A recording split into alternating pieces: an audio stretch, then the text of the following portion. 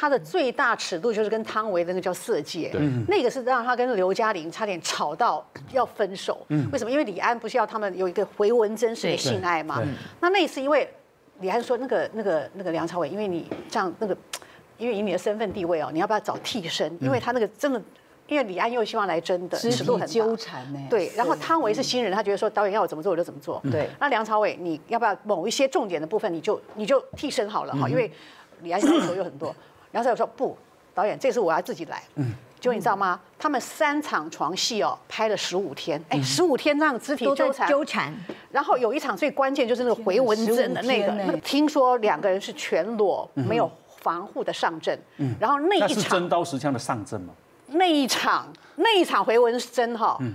NG 三十次，就是因为一下梁朝伟放不开，一下汤唯怎么样，然后就两个人拍到，听说拍到最后两个人是痛哭流涕。可是因为拍的太真，而且你知道吗？上片的时候，人家问李安、问汤唯、问梁朝伟说：“你们是不是真枪实弹？”嗯，他们三个人就不讲，嗯，没有讲 yes 或 no 啊。然后李安就说：“电影就是很多事情我不能讲透，可是我是真真实实的拍了梁朝伟跟汤唯这么样。”就说真的史无前例了，但是那个戏拍完之后，汤唯跟男朋友分手了。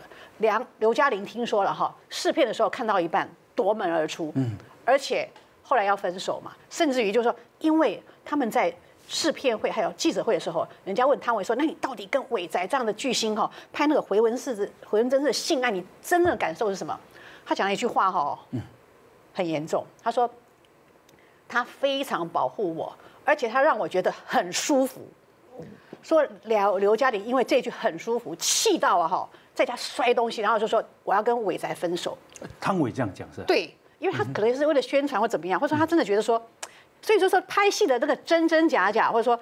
因为梁朝伟讲一句话说：“我们是假戏真做哦，所以就是留给你很大的想象空间。可是这个会造成很多的后遗症。因为很舒服这三个字也有很大想象空间。他诠释的角度是什么？所以就说是会有什么不可能吗？或者说他拍戏可以投入到这样？或者说呃没有绯闻吗？没有什么什么？呃那但是这个色戒当然就是说造成后来很多很多的讲法。几年前啊，坊间有流传，他们真就是。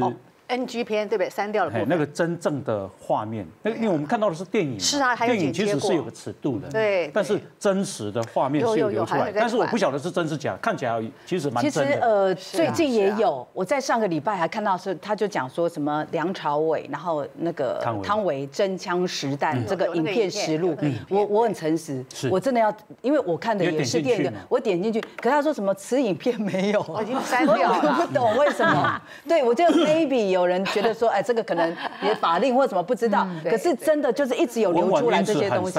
不是，因为我们真的基于工作，基于工作，我们要追根究底，到底是假戏真做还是什么？因为我们都有人生经验嘛，我可以观察到底是真的还是假的，还是借位，可是就没有看不到。